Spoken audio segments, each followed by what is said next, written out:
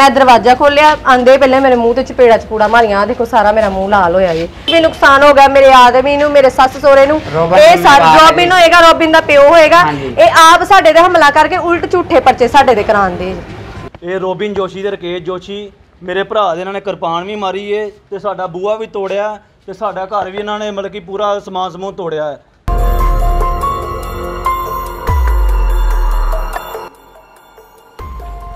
ਅੰਮ੍ਰਿਤਸਰ ਦੇ ਖਜ਼ਾਨਾ ਵਾਲੇ ਗੇਟ ਤੇ ਇੱਕ ਘਰ ਨੂੰ ਲੈ ਕੇ ਬਹੁਤ ਵਿਵਾਦ ਭਖਿਆ ਹੋਇਆ ਜਿਸ ਕਰਕੇ ਅੱਜ ਫੇਰ ਤੋਂ ਅੰਮ੍ਰਿਤਸਰ ਦੇ ਵਿੱਚ ਖੂਨੀ ਖੇਡ ਖੇਡਿਆ ਗਿਆ ਦਰਅਸਲ, ਮਕਾਨ ਮਾਲਿਕ ਦਾ ਕਹਿਣਾ ਹੈ ਕਿ ਘਰ ਉਸ ਦੇ ਭਰਾ ਦੁਆਰਾ ਅਵੈਧ ਰੂਪ ਵਿੱਚ ਬਣਾਇਆ ਗਿਆ ਸੀ ਅਤੇ ਹੋਰਾਂ ਨੂੰ ਵੇਚ ਦਿੱਤਾ ਗਿਆ ਤੇ ਉਹਨਾਂ ਖਿਲਾਫ ਅਦਾਲਤ ਵਿੱਚ ਮਾਮਲਾ ਦਰਜ ਕਰਾ ਦਿੱਤਾ ਗਿਆ। ਇਸ ਦੇ ਨਾਲ ਹੀ ਜਿਨ੍ਹਾਂ ਨੇ ਇਹ ਘਰ ਖਰੀਦਿਆ ਉਸਨੇ 25 ਅਗਿਆਤ ਵਿਅਕਤੀਆਂ ਨੂੰ ਲੈ ਕੇ ਆਪਣੇ ਘਰ ਤੇ ਹਮਲਾ ਕਰ ਦਿੱਤਾ ਅਤੇ ਉਹਨਾਂ ਤੇ ਤਿੱਖੇ ਹਥਿਆਰਾਂ ਨਾਲ ਵੀ ਹਮਲਾ ਕੀਤਾ। ਜਿਸ ਕਰਕੇ ਪਰਿਵਾਰ ਦੇ ਕੁਝ ਮੈਂਬਰਾਂ ਨੂੰ ਵੀ ਮਾਮੂਲੀ ਸੱਟਾਂ ਲੱਗੀਆਂ ਨੇ।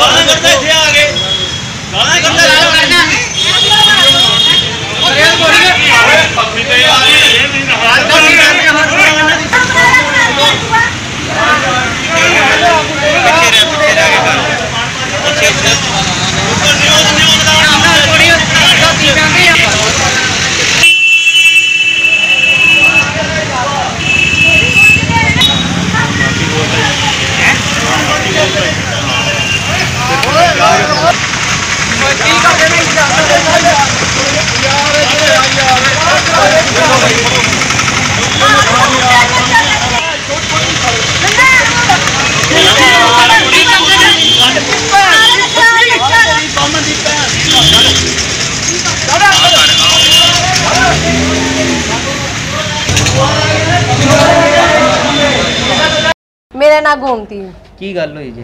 ਅੱਜ ਮੈਂ ਨਾ ਅੰਦਰ ਸੀਗੀ ਦਰਵਾਜ਼ਾ ਖੋਲਿਆ। ਮੈਂ ਪਹਿਲੇ ਲੇਡੀਜ਼ ਆਈਆਂ 15 ਜਣੀਆਂ। ਦੋ ਦੋ ਤਿੰਨ ਜਣੀਆਂ ਅੱਗੇ ਸੀ ਬਾਕੀ ਪਿੱਛੇ ਸੀਗੀਆਂ। ਕਹਿੰਦੀ ਕਿ ਕੰਮ ਹੈਗਾ ਬੇਟਾ ਦਰਵਾਜ਼ਾ ਖੋਲੋ ਸਾਨੂੰ। ਮੈਂ ਕਿਹਾ ਕੀ ਗੱਲ ਆਂਟੀ? ਕਹਿੰਦੇ ਕੰਮ ਹੈਗਾ ਕੋਈ ਗੱਲ ਕੁਛ ਨਹੀਂ ਹੈ ਬਸ ਗੱਲ ਹੀ ਕਰਨੀ ਆ। ਮੈਂ ਦਰਵਾਜ਼ਾ ਖੋਲਿਆ ਆਂਦੇ ਪਹਿਲੇ ਮੇਰੇ ਮੂੰਹ ਤੇ ਚਪੇੜਾ ਚਪੂੜਾ ਮਾਰੀਆਂ ਆਹ ਦੇਖੋ ਸਾਰਾ ਮੇਰਾ ਮੂੰਹ ਲਾਲ ਹੋਇਆ ਜੀ। ਆਂ ਮੁੜ ਕੇ ਇਹਨਾਂ ਦੇ ਪਿੱਛੇ ਹੀ 10 15 ਜਨਾਨੀਆਂ ਹੋ ਰਹੀਆਂ ਫਿਰ 25 30 ਮੁੰਡੇ ਆ ਗਏ ਜੀ ਇਹਨਾਂ ਮਗਰ ਹੀ।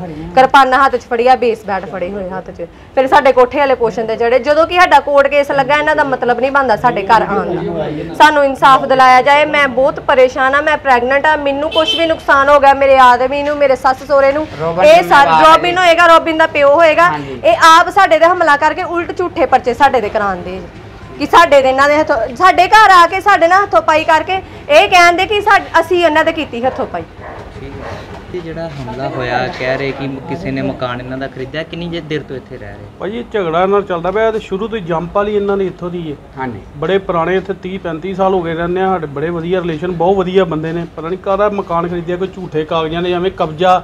ਕਰਦੇ ਪਏ ਨੇ ਜੀ ਹੋਰ ਗਰੁੱਪ 'ਚ ਰਲ ਕੇ। ਤੇ ਅੱਜ ਤੱਕ ਦੇਖਿਆ ਕਿੰਨੇ ਕੁ ਬੰਦੇ ਆ ਗਏ ਇਹਨਾਂ ਦੇ ਹਮਲੇ? ਅੱਜ ਬੰਦੇ ਘੱਟ ਤੋਂ ਘੱਟ 12 15 ਹੀ ਨਾਲ ਜਨਾਨੀਆਂ ਸੀਗੀਆਂ। ਅੱਛਾ ਇੱਟਾਂ ਉੱਟਾਂ ਮਾਰ ਕੇ ਅੰਦਰ ਵੜਨ ਦੀ ਕੋਸ਼ਿਸ਼ ਕੀਤੀ ਹੈ ਮਹੱਲੇ ਵਾਲਿਆਂ ਨੇ ਮਹੱਲੇ ਨਾਲ ਰਲ ਕੇ ਛਟਾਉਣ ਦੀ ਕੋਸ਼ਿਸ਼ ਕੀਤੀ ਤੇ ਫਿਰ ਭੱਜੇ ਨੇ ਆ ਇੱਟਾਂ ਉੱਟਾਂ ਚੱਲੀਆਂ ਨੇ ਕਾਫੀ। ਠੀਕ। ਉਹਨਾਂ ਦੀ ਪਾਰਟੀ ਵੱਲੋਂ ਨੰਗੀਆਂ ਕਿਰਪਾਨਾਂ ਲੈ ਕੇ ਬੰਦੇ ਆ ਕਿਰਪਾਨ ਹੀ ਮਾਰੀ ਮੇਰੇ ਭਰਾ ਦੇ। ਨਾਮ ਜੀ? ਨਮਨੀਸ਼ ਕੁਮਾਰ ਨਾਂ ਜੇ ਮੇਰਾ। ਕੀ ਗੱਲ ਹੋਈ ਜੀ ਜਿਹੜਾ ਇਹ ਭਾਜੀ ਅਸੀਂ ਆਪਣੇ ਘਰ ਬੈਠੇ ਹੋਏ ਆ ਸਾਡੇ ਘਰ ਇਹ 25 30 ਜਣੇ ਆਏ ਨੇ। ਕੌਣ ਇਹ ਰੋਬਿਨ ਜੋਸ਼ੀ ਤੇ ਰਕੇਸ਼ ਜੋਸ਼ੀ। ਮੇਰੇ ਭਰਾ ਦੇ ਇਹਨਾਂ ਨੇ ਕਿਰਪਾਨ ਵੀ ਮਾਰੀ ਏ ਤੇ ਸਾਡਾ ਬੂਆ ਵੀ ਤੋੜਿਆ ਤੇ ਸਾਡਾ ਘਰ ਵੀ ਇਹਨਾਂ ਨੇ ਮਤਲਬ ਕਿ ਪੂਰਾ ਸਮਾਨ ਸਮੂਹ ਤੋੜਿਆ ਹੈ। ਠੀਕ ਹੈ ਜੇ ਪੁਲਿਸ ਵੀ ਇਹਨਾਂ ਤੇ ਕੋਈ ਕਾਰਵਾਈ ਨਹੀਂ ਕਰਦੀ ਪਈ ਅਸੀਂ ਇੰਨੀ ਵਾਰੀ ਫੋਨ ਕੀਤੇ ਪੁਲਿਸ ਨੂੰ ਕੋਈ ਇਹਨਾਂ ਤੇ ਕਾਰਵਾਈ ਨਹੀਂ ਹੋ ਰਹੀ ਤੇ ਹੁਣ ਵੀ ਇਹ ਫੇਰ ਤਿਆਰੀ ਕਰ ਰਹੇ ਸਾਡੇ ਘਰ ਪੈਣ ਦੀ। ਪਹਿਲੇ ਵੀ ਖਬਰ ਲੱਗੀ ਸੀ। ਹਾਂਜੀ, ਕੀ- ਪਹਿਲੇ ਵੀ- ਕੀ ਮਾਮਲਾ ਸੀ ਸਾਰਾ ਦੱਸੋ? ਉਹੀ ਜਾਲੀ ਵਸੀਅਤ ਬਣਾਈ ਮੇਰੇ ਚਾਚੇ ਨੇ ਤੇ ਉਹ ਤੋਂ ਉਹਨੇ ਮਕਾਨ ਵੇਚਿਆ 2 ਨੰਬਰ ਦੇ ਵਿੱਚ ਤੇ ਪੈਸੇ ਸਾਰੇ ਉਹਨੇ ਫੜੇ ਨੇ। ਠੀਕ ਹੈ ਕੇਸ ਜੀ ਲੱਗਾ ਤੇ ਸਾਡਾ ਸਾਡਾ। ਕੋਰਟ ਦੇ ਵਿੱਚ ਕੇਸ ਵੀ ਚੱਲਦਾ ਪਿਆ ਉਹਨੇ 420 ਕੀਤੀ ਏ। ਜਿਨ੍ਹਾਂ ਨੂੰ ਇਹਨਾਂ ਨੇ ਪੈਸੇ ਦਿੱਤੇ ਉਹਨਾਂ ਨਾਲ ਗੱਲ ਕਰਨ ਜਾ ਕੇ ਅਸੀਂ ਤੇ ਆਪਣੇ ਘਰ ਵਿੱਚ ਬੈਠੇ ਆ ਅਸੀਂ ਆਪਣਾ ਘਰ ਥੋੜੀ ਵੇਚਿਆ ਕਿਸੇ ਨੂੰ। ਕੋਰਟ ਕੇਸ ਲੱਗਣ ਦੇ ਬਾਵਜੂਦ ਸਾਡੇ ਬੰਦੇ ਆ ਕੇ ਹਮਲਾ। 30 40 ਬੰਦੇ ਆਏ ਨੇ ਨਾਲ ਜਨਾਨੀਆਂ ਆਈਆਂ 5 6 ਪੈਂਦੇ 15 ਜਨਾਨੀ ਕਿੰਨੇ ਕ ਜਣੇ ਆ ਕੇ ਤੁਹਾਡੇ 15 20 ਜਨਾਨੀਆਂ ਆਈਆਂ ਸੀ 30 40 ਬੰਦੇ ਆਏ ਸੀ। ਇਹਨਾਂ ਕੋਲ ਹਥਿਆਰ ਹੀ ਸਾਰੇ ਨੰਗੇ ਹਥਿਆਰ ਇਹਨਾਂ ਦੀ ਵੀਡੀਓ ਬਣੀ ਹੋਈ ਹੈ। ਮੇਰੇ ਭਰਾ ਦੇ ਕਿਰਪਾਨ ਵੀ ਮਾਰੀ ਇਹਨਾਂ ਨੇ ਪੈਰ ਦੇ ਉੱਤੇ। ਉਹ ਵੇਖੋ ਖੂਨ ਵਗਦਾ ਪਿਆ ਵਾ। ਅੱਛਾ। ਤੇ ਹੁਣ ਵੀ ਇਹ ਕਹਿ ਰਹੇ ਪੁਲਿਸ ਆਈ ਹੈ? ਪੁਲਿਸ ਨੂੰ ਕੋਈ ਦਰਖਾਸਤ ਦਿੱਤੀ? ਹਾਂਜੀ ਫੋਨ ਕੀਤੇ ਪੁਲਿਸ ਨਹੀਂ ਆਈ। ਦੋ ਮੁਲਾਜ਼ਮ ਆਏ ਨੇ ਉਹ ਵੀ ਕਹਿੰਦੇ ਆ ਸਾਨੂੰ ਕਿਤੇ ਹੋਰ ਫੋਨ ਦੂਜੀ ਪਾਰਟੀ ਦਾ ਫੋਨ ਆ ਗਿਆ ਅਸੀਂ ਉੱਥੇ ਜਾ ਰਹੇ ਆ ਉਹ ਵੀਡੀਓ ਵੀਡੀਓ ਬਣਾ ਕੇ ਲੈ ਗਏ ਨੇ। ਠੀਕ ਹੈ। ਹਾਂਜੀ। ਹੁਣ ਤੁਸੀਂ ਕੀ ਮੰਗ ਕੀ ਕਰ ਬਾਕੀ ਜਿਹੜਾ ਇਹਨਾਂ ਨੇ ਸਾਡੇ ਘਰ ਆ ਕੇ ਹਮਲਾ ਕੀਤਾ ਵਾ ਇਹਨਾਂ ਦੇ ਪਰਚਾ ਕੀਤਾ ਜਾਵੇ ਜੋ ਵੀ ਸਾਡੇ ਨਾਲ ਧੱਕਾ ਕਰ- ਕਰਦੇ ਪਏ ਨੇ ਸਾਨੂੰ ਹਰ ਟਾਈਮ ਖਤਰਾ ਇਹਨਾਂ ਕੋਲੋਂ। ਠੀਕ।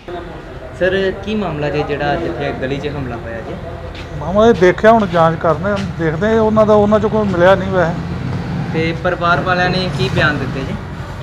ਦਰਖਾਸਤ ਦਿੱਤੀ। ਹੈ ਕਹਿੰਦੇ ਸਾਡੇ ਘਰ ਆ ਕੇ ਹਮਲਾ ਕੀਤਾ।